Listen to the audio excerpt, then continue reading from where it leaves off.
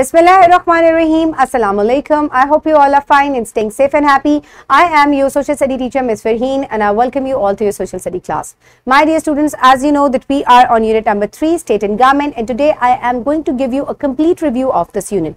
These are all the student learning outcomes. Alhamdulillah, we have covered them in uh, the lectures that I have delivered, and today we will revise all the SLOs. So, my dear students, uh, let's start with lecture number 1. In lecture number 1, we discussed about a group of people living in a geographical area under a system of government is called a state. So हमने state और government के बारे में पढ़ा था whereas a government is formed based on a group of elected people via general election um, to run the state is known as a government. So my dear students, uh, this is what we did in lecture number one. And then in lecture number two, we discussed about um, the constitution. So what is a constitution? A set of basic principles and laws to run a country is known as a constitution.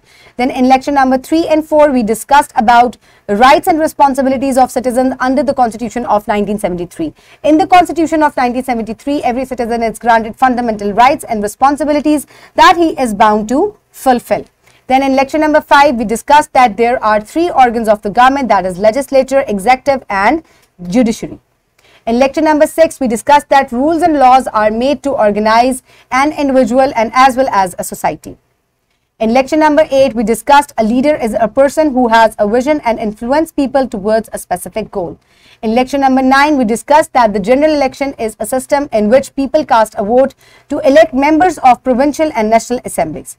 So my dear students, in lecture number 10, we discussed about the political party. So a political party is a group of people with the same ideology. And we also discussed about the manifesto, which are the aims and policies made by the political party before the general elections. So my dear students, now is the time for evaluation. For evaluation, you can download this worksheet from the description box below this video or you can get it in print from bio teacher. Write down your name and your class and then I will read the questions and then you will solve it by your own.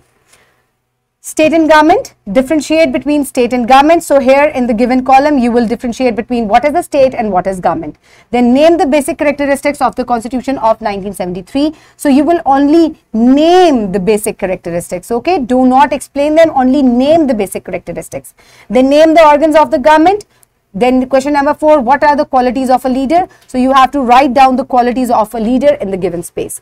So next you will do define the terms, Following terms, what is legislature, constitution, state and government.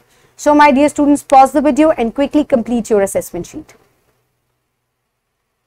I hope everybody has finished it. Quickly submit it to your teacher for marks and evaluation. So my dear students, this is all. I hope you have learned a lot of things from this unit. Keep everybody around you safe. Have a good day. Thank you so much and Allah Hafiz.